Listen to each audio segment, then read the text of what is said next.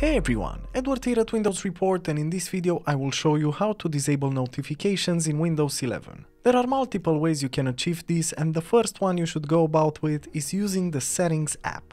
Press the Windows button, then select the settings icon and on the left pane make sure system is selected and then on the right pane click on the notifications section. Scroll down then uncheck the offer suggestions on how can I set up my device option and also get tips and suggestions when I use Windows. You can also modify settings in the notification center. To do this press the Windows plus N shortcut to open the notification desktop section.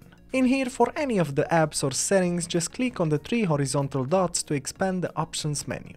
Then click on turn off all notifications for the respective app. In here you can also clear all notifications simply by pressing the clear all button.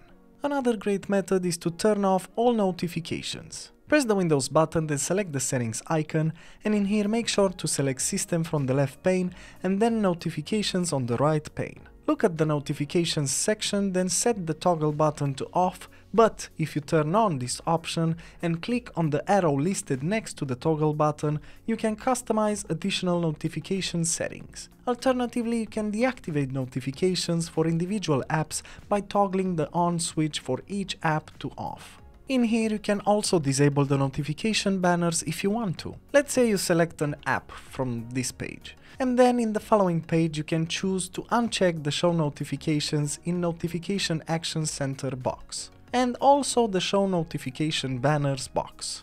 You can also mute the Windows 11 notifications. To do this, press the Windows button, then select the settings icon, and in here go to System on the left pane, and then navigate to Focus Assist on the right side. In the Focus Assist section you have three options, Off, Priority Only, and Alarms Only. So make sure to fiddle with all of these three if you want to further customize your notifications. And that's it, plenty of ways to consider. As usual, for more information and details, you can check the article in the description below. And if you enjoyed this video, just make sure to like and subscribe to our channel. Thank you.